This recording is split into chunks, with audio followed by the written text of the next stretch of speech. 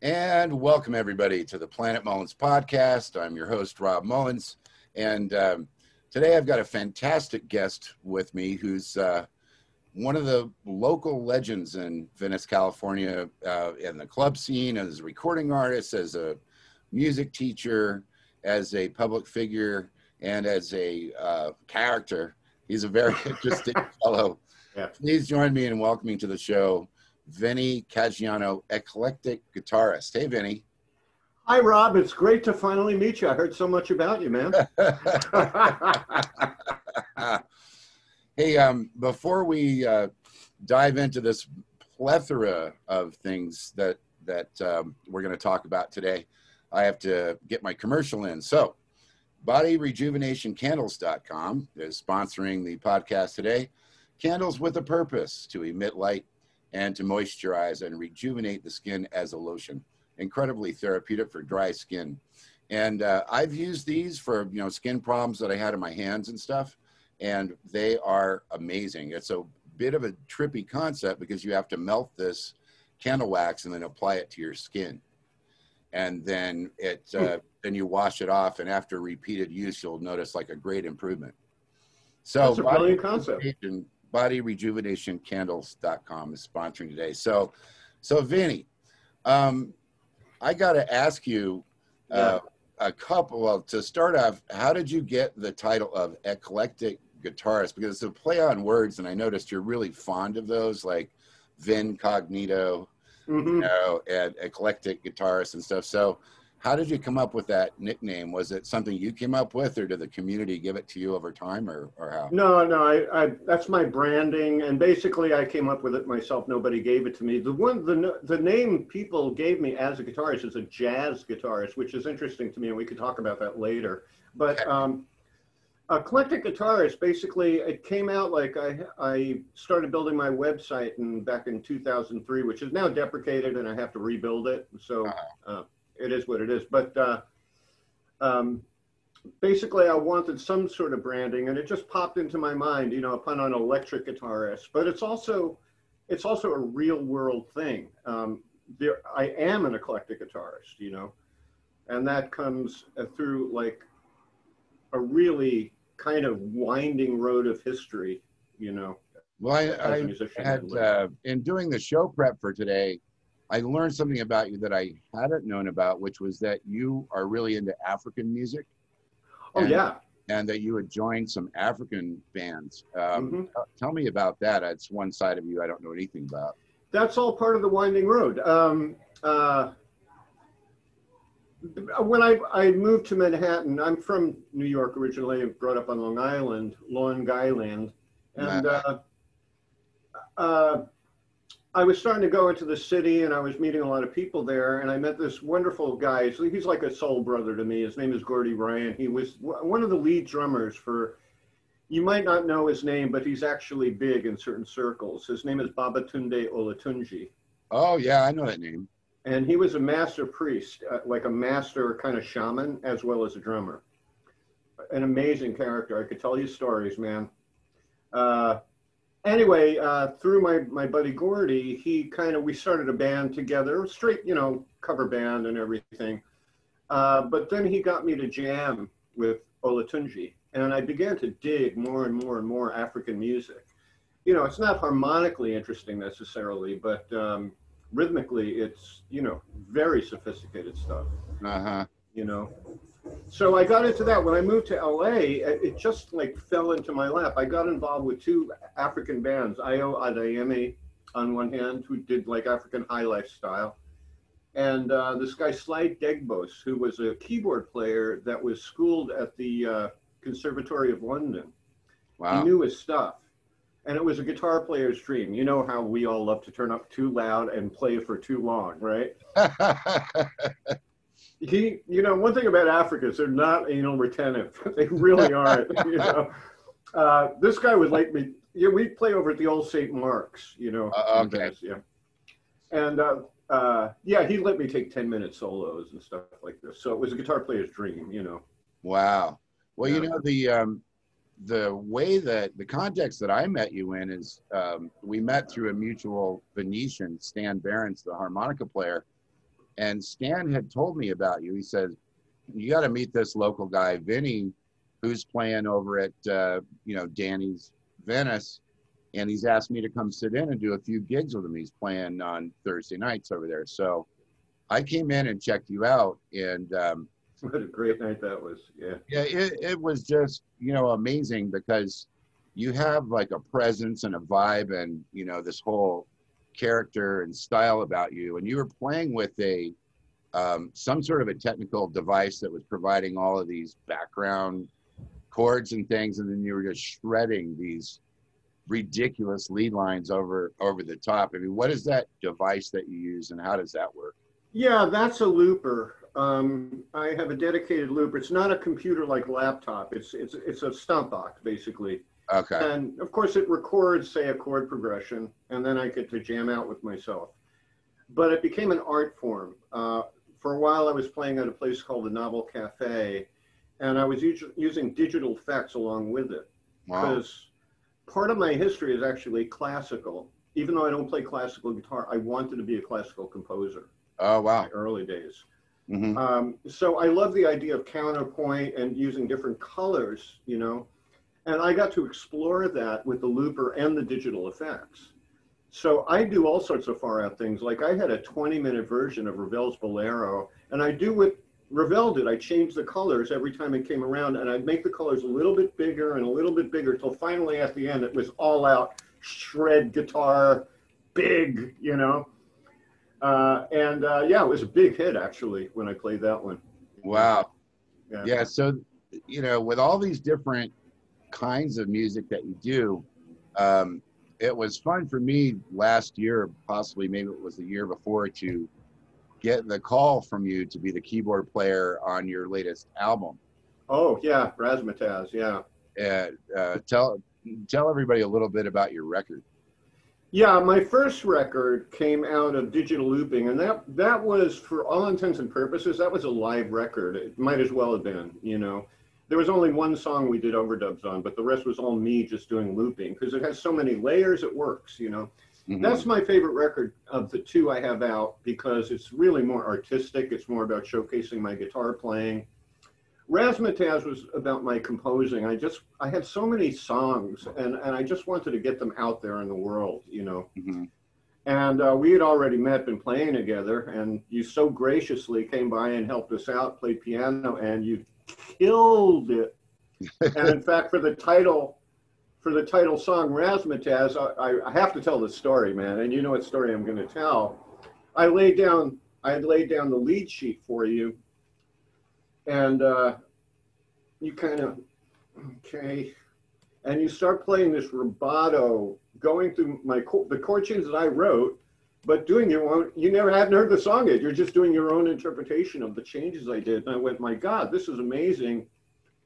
That ta- unfortunately we didn't capture that, but you know, I you know, me and the producer George Monter, I said, Rob, do the same thing you did before. We're going Right, to use right, that as an sure. intro, and it was so beautiful. I, you know, but I honestly think the best one, and this is like the nature of the studio, the best take was the one that wasn't the one, the original thing you did was amazing. The one on on the record is great, Right. no no doubt about it. But the original impulse was like, wow, you know. Well, you know, I, I got to give a shout out to George and say, you know, there's a reason they call it the recording studio. So when the people come in, that's when you hit record. It's Right. it's not later. Like I used to work at this studio called Wide Tracks, and it was at Selma and Wilcox in Hollywood, really seedy area. And um, Mike Hightower and Wayne Henderson from the Crusaders were the co-owners of that. And Wayne was always screaming at people, "Push the red, push the button, get the light on right now." He walked in because see, we would have like Wah Wah Watson in there and we'd have Ray Fuller in there, and we'd have Dwight Sills in there, and we'd have Wilton Felder on bass and sax. Mhm, mhm. And when these guys are just warming up and doing stuff, that's when all the ideas would come out. That's exactly it. It's always the first impulse that's the best, you know. Yeah. Yeah, sometimes it's like that. But I, I noticed now that since uh, you and I have done a couple of projects, you were the featured guitarist on my Only in Venice documentary album. for example. And then uh, after we played at Danny's, we started playing at Sidewalk Cafe, and we had a two-person band, and then we had a four-person band, and then we had a three-person band, and then, then a two-person band. a two-person band again, and um, you know, it's it's been real interesting to just watch you grow as a player and uh, a writer over the time that we know each other because you are really eclectic. You can play anything and you've got tons of chops, but you can also just phrase a ballad where it just makes you want to cry. You know, when you play um, Sleepwalk, for example, you know, I love your interpretation of that. And then you do this country kind of stuff on Sweet Sue. It's almost like, you know, Beverly Hillbillies vibe or something. Yeah, and, and not to forget, uh, Whole Lot of Love done rockabilly style. that's right. That's right. that's right. Well, um, you know, since we started uh, playing together and stuff, one of the things that that I've enjoyed so much about our time together is the breaks that we have in between sets because a lot of people, you know, that knew me before I met you and knew you before you met me were like, oh, these two guys are not going to get along. They're both so headstrong and they both are really opinionated and way off on the, you know, different spectrums and this and that. And what's been funny about it is that since I came in as a support uh, musician for you, I think that leveled the playing field in the beginning because I didn't come in as Rob Mullins, Grammy nominated jazz piano player. I came in as the one armed drummer and playing the keyboard, bass, and you know a half of a drum set at the same time. But uh, the discussions that we've had about everything going on in the world have been amazing, and yeah. um, you know, I was reading your uh, your epic interview with the Venice paparazzi, uh, which everyone should just go check out. Type in Vinnie's name and and uh, that big huge feature article on him will show up.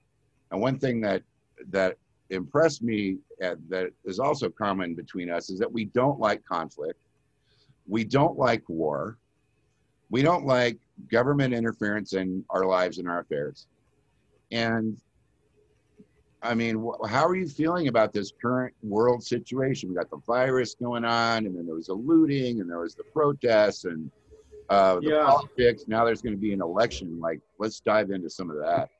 Yeah. Uh, oh wait, some of the local color. You hear that? Right off Speedway. Now, okay, right off Speedway, people drive by and blast hip hop. You know. That's okay. That's Venice, man. Right. You know. Uh, yeah, well, you know, I'm almost afraid to touch on that subject of like what's going on because if I stated what I really felt about things, I'd be called the derogatory term a conspiracy theorist. And I consider myself like a bullshit detector more than a conspiracy theorist. Um, uh huh. Uh-huh. You know, um, you know the way things are today. If you if you say something like I question what the mainstream media is saying about COVID 19, then you're immediately a Trump supporter, you're a neo Nazi. You know, it's like crazy the way people just put you into a box. Uh, I, yeah. You know, obviously I don't fit into that box. I'm more liberal than I am conservative. For, yeah, for I've sure. always thought of I've always thought of you as being more liberal, but what's been interesting about our relationship that I think would be just something I should point out to my viewers and to your fans that are watching is that we have really different opinions about certain things, but mm-hmm. when we are talking about them, we're not being judging. Like, yeah. you know, you would say, you could say something to me like, well, somebody thinks I'm a conspiracy theorist. And I would say, okay, well, why? And then you would explain it to me, and I would say, okay, well, let me think about that. Let's go play the next set. I'm this is how gonna, things should happen. I mean, because you you know it, the rush to judgment is the biggest problem I see. I mean, I have a, a friend of mine who um, this was about four months ago of you know Facebook friend, and uh, this was when Trump had said something about uh, drink bleach or something. Right. Okay. Yeah. yeah. And so on one hand, you know, I talked to my drummer Liam about that, and he said that was the funniest joke I heard all day. Like, because obviously Trump was joking, but this other friend of mine went on Facebook to defend what Trump said without even watching the video. And man, her phone lit up like her family was kicking her out of the family. And then Yeah. um, she was going to be kicked out of the church. And then Mhm. the, her boss at her main gig called up and said, "Well, this is horrendous," and yeah, and people are unfriending her like, and why? Like the touchiness. It's like everybody's on their last nerve being judgmental towards others, and that is just that just sucks, man. You know, it's ironic you, you say that because I, I just posted on Facebook saying um, that to have a knee jerk reaction, I, well, I won't even say knee jerk reaction. When you, when a person reacts immediately with outrage, anger, judgment, right? That's a much, much easier path to take than being compassionate, understanding, and loving. Listening. Yeah, You know? Mhm. It takes effort to be that way, to, to like accept and allow, you know. right. And I got into a thing with my own cousin who I love dearly, and she is such a radical liberal. Like, you know, she was posting things on Facebook like Trump should die and all this kind of thing. And I, I, I, I don't trust any politician. I, not a single one of them. Not Right. since not since Kennedy. right. So Yeah, sure. you know, Well, I don't I- trust them. the you know what i what i try and explain to people about my own view is that you've got this whole wide spectrum of all of these different views but ultimately all of the government excuse me all the government is corrupt like it's Yeah. not it's not like the republicans are blameless and they're wonderful the democrats are blameless and they're wonderful like there's you know skeletons and uh, the swamp and all that on both sides. It's just, you know, and the standard. The, here's the other funny man, is that when people want to uphold other people to a certain standard, uh, it, you know, and I grew up in the Baptist church. I mean, we were about as Mm. as you could be, but it was judge not lest ye be judged. And he who is without sin cast the first stone. And why do people expect every person to be exactly perfect all the time? Like, none of us are. And, and you know, like you said, there's no acceptance of a gradient of a personality or Have you heard of uh, Daryl Davis, the key, the piano player? Have you heard about that? no, guy? I don't know, Daryl. Dude, what a story. And and I learned so much from him. What an incredible human being. This guy was working in the deep south as a kind of uh, wasn't a jazz guy. He was more like uh, in the style of Jerry Lee Lewis, you know, Okay. that kind of thing, right? Like kind of rock and roll piano, but he was good. Mhm. And he's playing in this bar, and this white guy comes up to him and says, Hey, man, let me buy you a beer. You're just such a great player. He goes, You know, Jerry Lee Lewis invented this style. And Daryl says to him, Well, no, not exactly, you know, and starts talking about black musicians and stuff. Then they start buddying up, right? So his the white guy's friend comes over, another white guy, and says, Show him your card. He was a card carrying KKK member. Okay. Wow. And Daryl, you know, he's one of these guys who has the ability not to knee jerk react, right? Uh-huh. So he just kept charming this guy. They wound up being great friends. He wound up quitting the KKK. And then, as if that wasn't enough, Daryl made it his mission to go out of the way to meet KKK people, get to know them. And he's, he's like, I don't know how many KKK guys he's already, you know, uh, they quit because they realize. So that told me the only reason there's bigotry is fear. These people are are afraid of black Right. culture.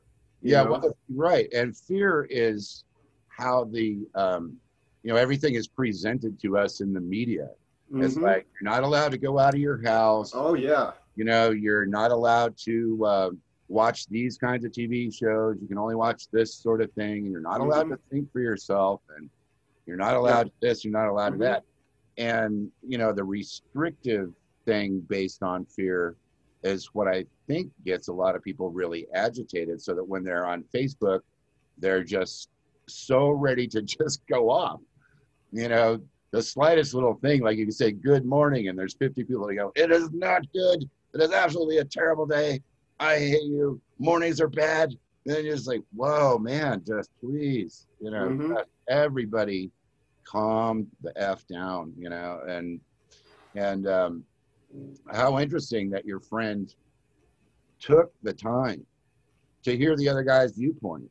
Oh, he's not a friend of mine. He's like a media personality at this point. Oh wow, well, yeah, Yeah. but it's just, I, I mean, that's just so great because Yeah. when when you knee jerk react and and I uh, and I want to get into your guitar teaching too because you're like the god of uh, California uh, guitar lessons and stuff. But I've done a lot of workshops with young people where I'll go to like a middle school or a high school or a college, and I'll say, "Okay, you tell me what's your favorite kind of music," and they'll say, "I like uh, Madonna," and I'll say, "What kind of music do you hate?" And they'll say, "Jazz." of course. of course. And then I say, well, why don't you try giving jazz a chance? Or if you're a classical person, why don't you try giving reggae a chance? And why don't you study it? Let's try and get an entire, like a whole picture about it. Because I hated country music, for example, when, and my dad listened to country and he hated jazz. Right. And, you know, he would be playing this country stuff and I'd just be going, man, is Johnny Cash ever going to get off that low E string? Is he ever going to stop playing that Yeah. low E string? I'm so sick of it. And then over decades of time, I became a fan of country music because I realized, duh, it's about the stories.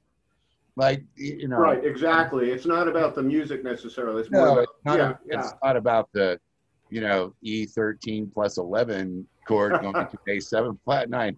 But, you know, you um, have a pretty good, uh, uh, thriving teaching business there. I guess you're doing it all online now, but uh, Yeah, how, did yeah. become, how did you become interested in teaching and become a music teacher? Yeah, well, a long time ago, I figured out that I'm not going to make a lot of money from performance. You know, you know, like like you know, you know, as a musician, either you make it or you don't. Either you're rich or you're poor. You know, it's that's just the way it is. You're not going to. Um, yeah, well, that's just the way it is. So um, I decided early on. I started teaching when I was 21. Mm-hmm. And the one of my very first students was about 16, 17, and he'd already been arrested for breaking and entering and just causing causing havoc. Right. Uh-huh. I started teaching him Led Zeppelin and and uh, stuff from uh, Rock. Uh, what was it? Rocky Horror Show. That thing. And right. Uh, I just started teaching him the things he would love to learn. Mm. About three months later, his mom. Uh, see, this is why I kept teaching too. It's more than just making money for me. Um, the mom calls me up three months later and she goes, "Vinnie, I have to thank you." And I said, "For what?" And she goes, "Ever since he started learning guitar, he just hangs out with his friends in the basement and they they play all day and they have a great time, and he's not doing anything, you know, that gets him into trouble." So. All right, the second degree murders and the burglaries stopped after four. I don't think he went that far. He might have, you know, but.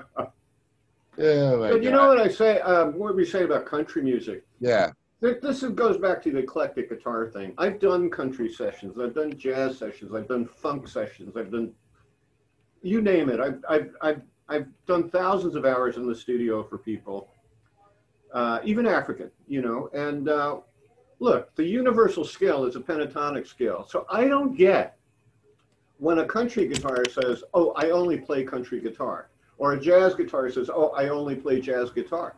It's like, well, wait a second. It's the same freaking scale. It's just the way you intonate the scale that's slightly different.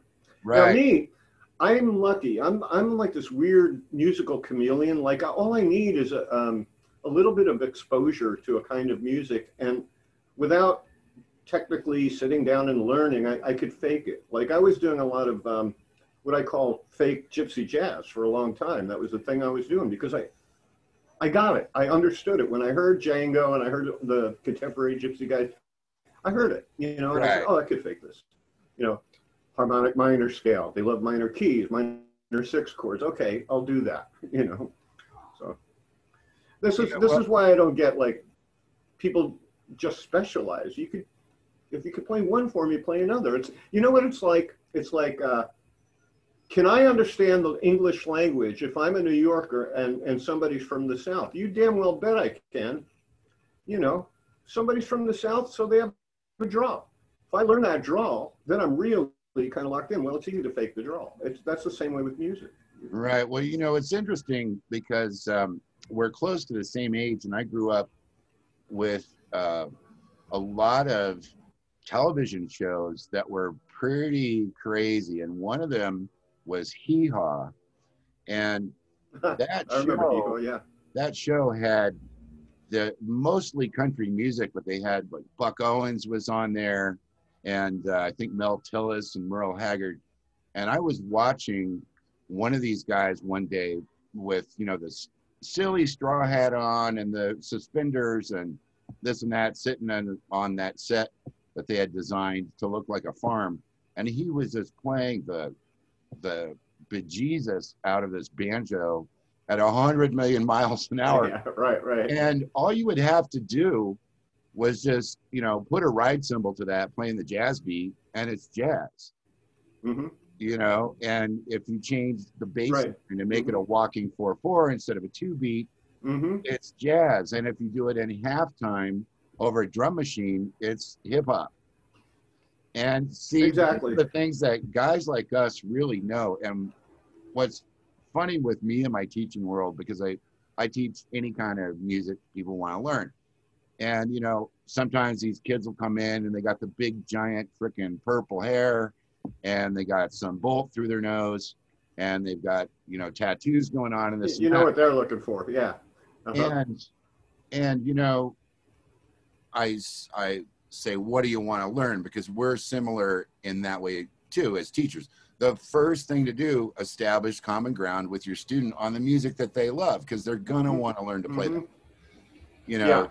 you can't use that approach of, well, we're going to do Czerny and we're going to do Hanon and everybody's, you know, right. is 250 years old and been dead Right. for no. So, but then I would reach them through that and then over time try and convey that the lifestyle is not necessarily important to be a good musician because hmm those guys, I mean, like Glen Campbell. Okay, let's take Glen Campbell. He's one of my all-time favorite uh, country slash pop guys. That guy was a killer jazz guitar player, like oh, yeah. ridiculous. And he was in, you know, almost like a double identity. Like he would be doing all of these recording sessions, playing this amazing jazz stuff, and then he would go record Wichita Lineman. hmm hmm You know, as two completely different separate careers. Mhm. And it was many, many years later I found out Glen was, you know, deep into the session world and playing all of these uh, amazing jazz riffs and stuff. And even um, Liberace is another example. He had this shtick with the, uh, you know, uh, the candles on the piano and all the jewelry and the Vegas. That guy was a great jazz player Yeah, I bet. Uh, yeah. but you know he didn't try and make money playing jazz which is i think where i went wrong with my life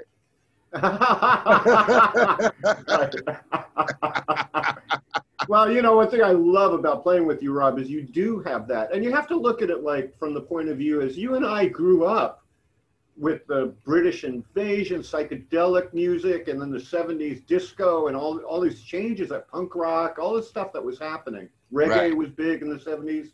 right Um, and like if you take a jazz musician from the 40s, it's just pure jazz, you know. They take the pop songs of the time, but they were written by composers that knew their theory, you know. right Um, but then you get this rock and roll thing that happens, and it gets sophisticated. You know, you get to the Beatles and stuff like that, or even the Doors, one of your uh, favorite bands, right? You take a song like "Touch Me," the modulations in that are insane. This is great writing. This yeah, is really the writing the writing is incredible and you know i remember having two albums that i got when i was about nine or ten years old and the first one i got was the doors debut album hmm and the second one i got was buddy rich big band called big swing face Yeah. So, I mean, I love this as I started on drums. I was like, man, the Buddy Rich thing with all his horns and it's so sophisticated and everything. And then, you know, on the other side of it, I'm going to my mom in the kitchen when she's cleaning up after dinner and going, Mommy, what does a backdoor man do? And, That's one of those. I'll tell you later, son. she, she was like, "Go ask your father." but when you when you take all of the various sides of of different genres of music, and I want to go back to the Beatles and talk about them because I know you love them and I do. It's the open mindedness of a person that I think is critical.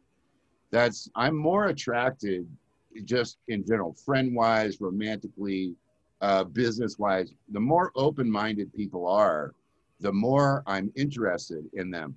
Because when open minded people think about history, they go, okay, well, here's this version of history, and then here's other events that tie into that history. Then let me devil's advocate all of the history and look at it from a perspective of a group or look at it a perspective of the media trying to write Mhm. that history to control something or whatever. right, right. And then you end up, and my dad taught me this. He says, be circumspect. Look at all the sides of the issue before you judge anything.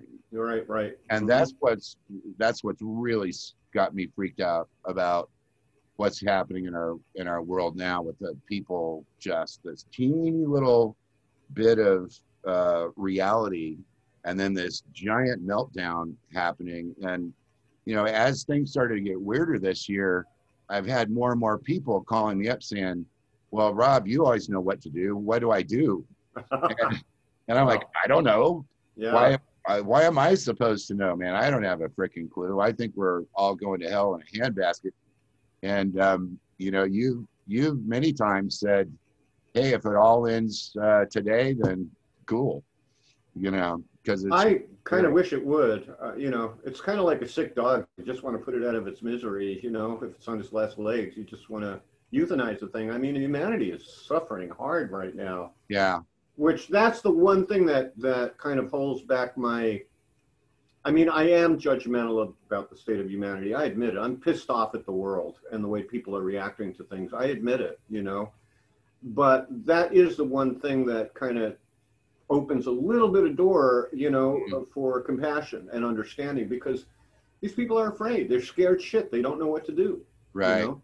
right. Well, being scared is uh, is a really common thing that's going on, and um, I get that way from time to time. Most of the time, I'm pretty calm and I'm pretty level because I've put out my albums. I've had my brilliant career uh, in in jazz. I've made a name for myself. I've played with a bunch of big time artists, and all that's secure. And it's been really fun. I mean, I've had a long ride. It's been great, and it's still continuing uh, to go. But somehow we're going to have to come out on the other side of this thing. And I don't think anybody has the answer because I have people calling up and they'll like rant and rail on the liberal side for 20 minutes and they'll say, What do you think, Rob? And I'll say, Nobody knows about this virus.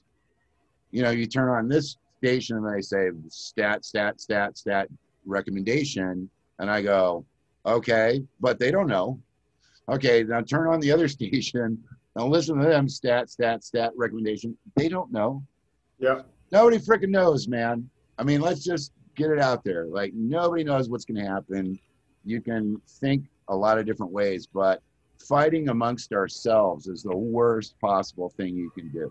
a hundred percent You know, you get you get all these little frac fractional groups just going nuts uh, against each other, and nothing positive gets done. So anyway, I want to go back to the Beatles because um, when I was a really little kid, I saw them come on the Ed Sullivan Show, Mm, and i I'll never forget because we had one of those TVs that had the three channels. You know, right right Yeah, there was no remote control TV. nbc abc cbs Yeah, yeah, yeah.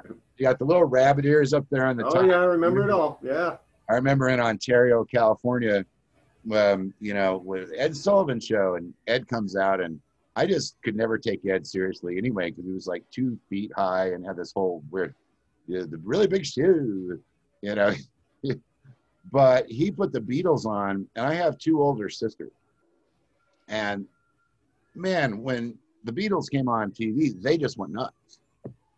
I mean, I got I mean, they got uh, one of my sisters was seven years older, and the other is five years older. It was just like boom. I mean, Yeah. they were in love uh, immediately, and then of course, the whole country fell in love with the Beatles.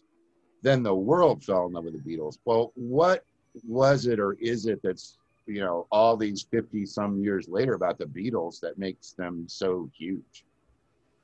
Yeah, that well, that's uh, kind of a mystery. I mean, I the Beatles to me, the Beatles weren't just a musical pop group; they were a cultural phenomenon, and the likes of which I don't think we'll ever see again.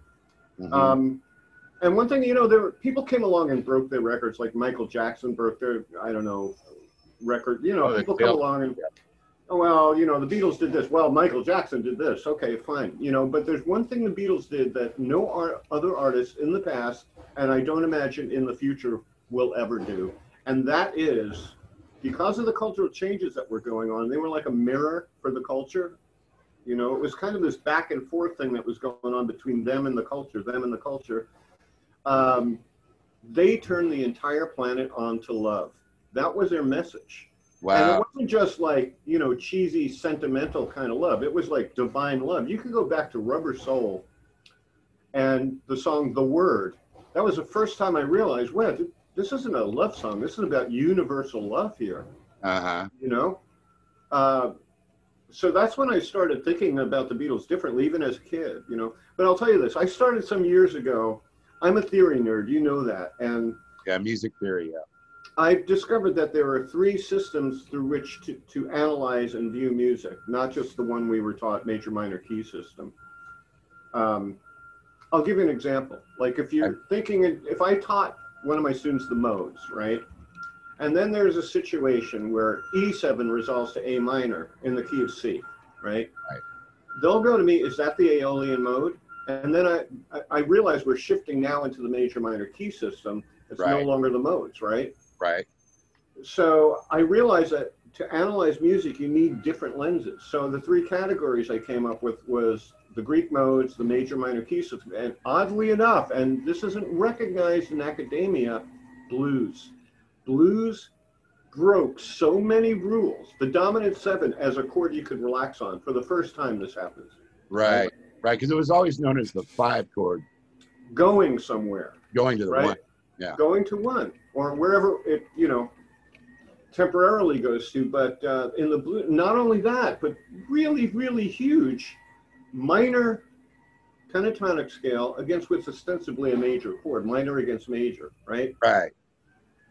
this is huge. This affected the, the world. People do this all around the world now. And academia doesn't even look at this and analyze it and say what are the principles here? Why is this working Uh huh. so I started writing a book about all this, and what I Wow. did was I, I started analyzing the music of the '60s, and then I realized something. You know, jazz has been elevated to this high, sophisticated form. You know, nothing but respect. Most jazz musicians will think, well, this is the highest form right now we Mhm. have in the West. You know, this is uh, one jazz guy, I forget who said it, it's, it's the classical music of America, right? Right. But then I, I started analyzing chord progressions of, like, say, um, it's kind of a dorky song, but Up, Up and Away and My Beautiful Balloon, that song, or Monday, Monday. Right. Monday, Monday is insane. It's brilliant. And so is uh, Up, Up and Away. The modulations all over the place, these winding, sinuous modulations. It blew me away to see that these composers were doing this. And yeah, maybe they weren't doing, you know, 13 flat nine chords. You know, maybe they were just doing triads even Right. but the brilliance of the chord movement. So I, you know, I made it my mission. Why is this music elevated to the status of jazz? Yeah, not it's not an improvisational form, but it's a compositional form that Sure. deserves. And that's why the Beatles were so great because I could go back to early Beatles and watch these moves that they would make with the chord movement. Go early Beatles, and I go, this is really sophisticated. This isn't. This isn't just some teenagers that don't know anything. You know, Right. they're really searching for sounds, and they didn't know any theory. Right. Well, the you know, being on the cusp of a certain era uh, is something I think they were lucky uh, Yeah, they were in certain ways because American music was coming over and influencing them. I, I got a just a quick story. Um, because coming from a really religious conservative family, uh, when John Lennon made his comment that could have been, re- in, uh, you know, could have been interpreted a lot of ways, that the Beatles are now more popular than God, Right. or was it Beatles more popular? Jesus. than Jesus? Yeah. So when my mom heard that, she took Hard Day's Night and Oh. Rubber Soul, Uh-oh. and she turned the oven up to 450. Oh no. she put those albums in the oven like a pizza. And that was the end yeah. of, of those two albums. I mean, she melted them because that made her so angry. And and you know, the Beatles didn't push a religious agenda, but the universal love carried through everything that they recorded. I, I mean, Yeah. all those albums. And I. Do you have a favorite album? Because mine is Rubber Soul. I mean, Rubber Soul is awesome, man. It really is a beautiful record. It really is. I have a book called uh, The Enduring Beauty of Rubber Soul. You know, oh wow, I'm such a Beatles nerd, man. I, I, you know, on my YouTube channel, I have a whole series analyzing Beatles music and breaking down the chord changes and what's going on. Oh, wow. You know, uh, what's the? Tell everybody the name of your YouTube channel. Oh, it's uh, uh, youtube.com forward slash vincognito, like incognito with a V. Um, maybe you can put it in the show notes. I'll give you the link. Okay. Um, yeah, uh, and I have a whole series. The book I was writing called Fragments of Infinity, all about the three systems and music theory and my perspective on theory, which is not, you know, over and over again. I'll teach something to my students. that They'll never teach you this in music school. You'll never get this in music. My ideas, you know. Right. Um, did you develop this stuff from going to music school, or you just kind of came up with it all on your own over time? Well, I I went to jazz school and I went as a composer. You know, I wanted Okay. to be a composer. Uh, so I wasn't studying guitar; I was studying piano, and uh, I was I, I was voracious for the theory. That's what I really wanted to learn. So this stuff kind of stayed with me for years and years and years. And what happened was I was theory is hard for people. You know this. People have a really hard time with it Right. you know they really do and uh, i realize this over time so i'm thinking like what are ways i can explain this so they'll understand you know Right. You have to come up with different ways. so what happens is i came up with all these maps and then when i made the maps i realized oh wait a second what's going on over here this isn't you know this isn't according to what i was taught in school You know, Uh-huh. well, i'll give you an example Okay. I, I you probably do this. Like I talk about through scales. You can either improvise per chord, right? Like I'm going to play this scale on this chord, this scale on this chord, this scale on this chord, which to me was an exhausting concept when I was in jazz school. So right. when I We call it decided, vertical vertical improvisation, according to George. Thank Russell, you. yeah, vertical. uh, yeah, well, he was Each quite. chord has a scale. Yeah, I, I wish, I wish I. You're so fortunate to have worked with him, man. Um, Well, yeah. I mean, that was a. We could do an hour on that, but but go ahead with your thought. Um, then you said about the blues scale. Would you be superimposing that over the whole series of chords? Then.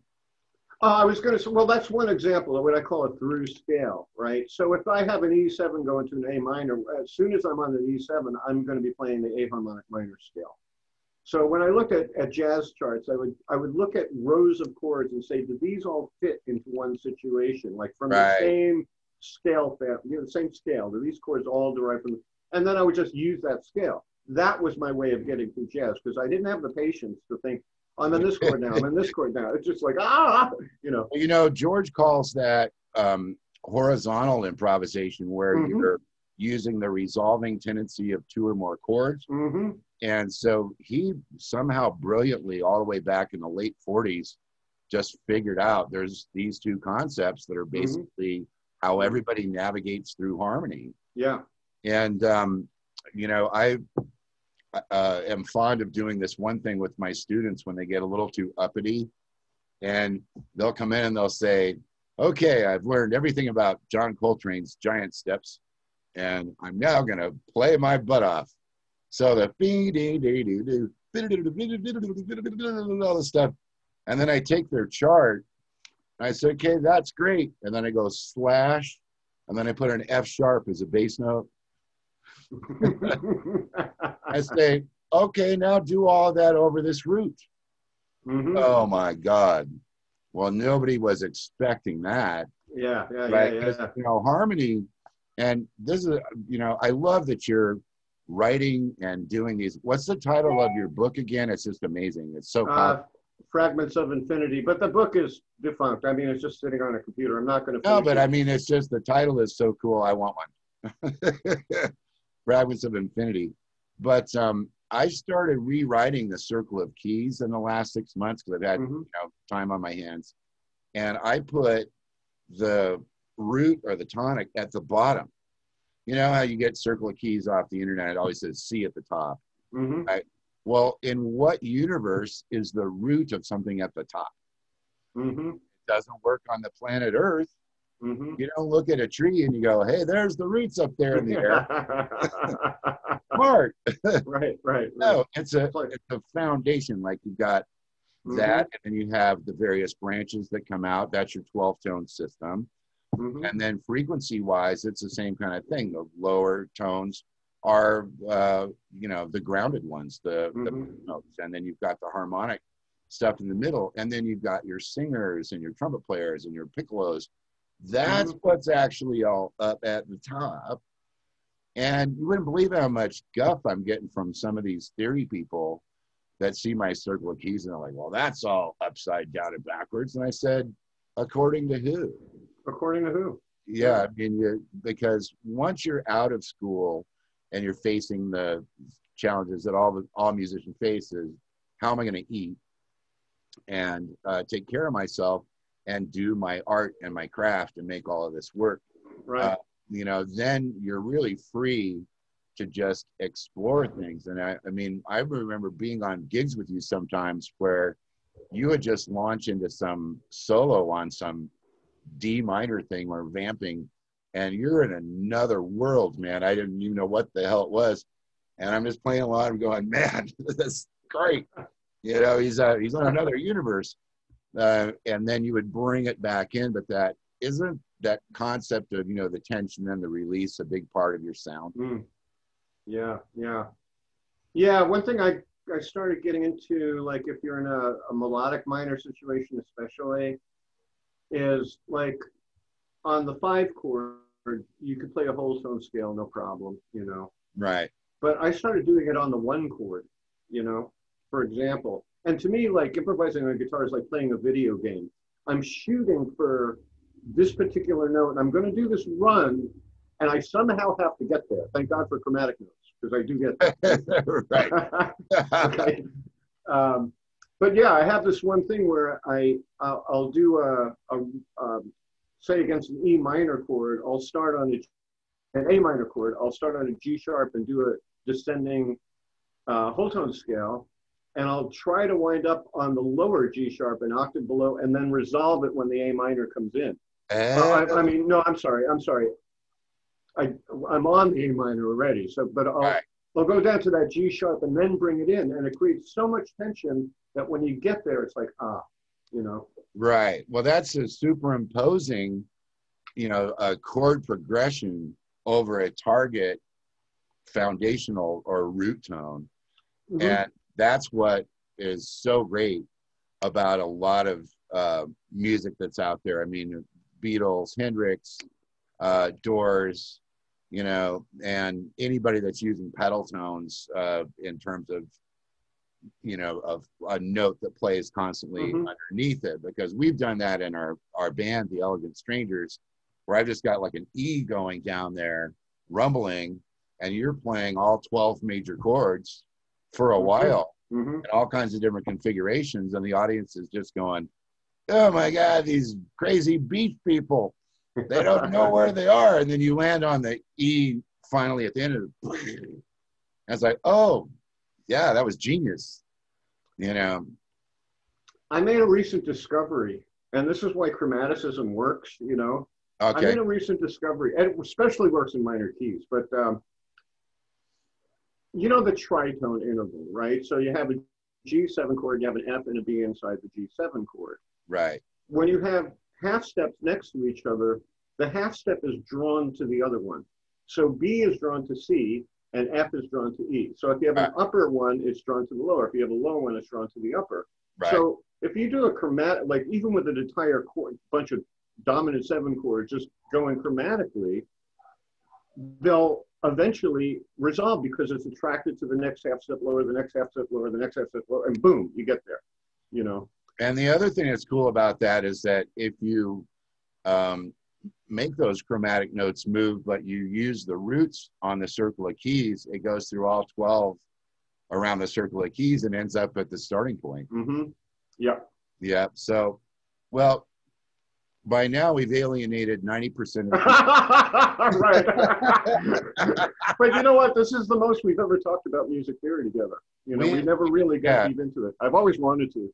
Yeah, I I have too. I mean, I um I just like the fact that there are you know big frameworks out there by geniuses that came before us that we could you know use as our mm-hmm. developmental ideas for teaching music lessons and helping people understand because your point you made earlier about having different approaches for the same idea you know man that's been so valuable for me to think like that with students because some students are going to come in and they're naturally wired to be more creative and more loosey goosey and not so technical. Right. other students will come in and that'll just be like, there is not one shred of emotion coming out of their heart in mm-hmm. direction, and all they are is math and numbers. Mm-hmm. Mm-hmm.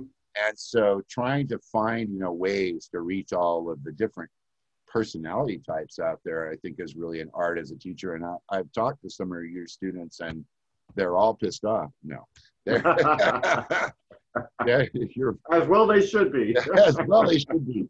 Well, um, we're we're getting to the uh, about the end of the hour here, Vinnie. So I can't thank you enough for coming on my show, and um, I hope we get a chance to play more and talk more in the future. I mean, you're a, a Venice celebrity, and um, you're all, you'll always be a famous guy in my book, and and you know that I I love the heck out of you and playing with you. And uh, if you have any advice for the for the people out there uh, about anything, you know, worldwide or musically or anything you want to say to wrap up? Wow. Uh, wow. That's a huge question. Um, well, I'll go. I'll go work with a body rejuvenation candle for a while and come back and give you time to think about it. By the way, that's a great concept they have there with those candles. These things really work, man. I yeah. have one. I have one right here, but it's really hard to because of the uh, way that the screen works, it's really hard. Oh, I see. Yeah, yeah, yeah. Right. It, it, it disappears. it disappears in there, but there we go. Oh, there it is. Yeah, yeah. There I can see it now, but it's real close. Yeah.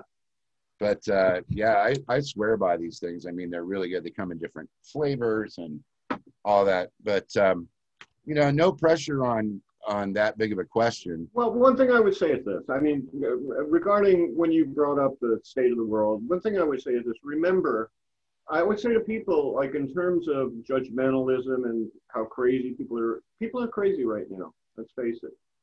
Um, I would say this: remember that it's easy. It's easy to jump into a judgment, to get pissed off, to be outraged. It's much, much harder. And it takes effort to, to try to comprehend where that person is coming from. Mm-hmm. I think you and I, I think musicians that are truly immersed in music understand this.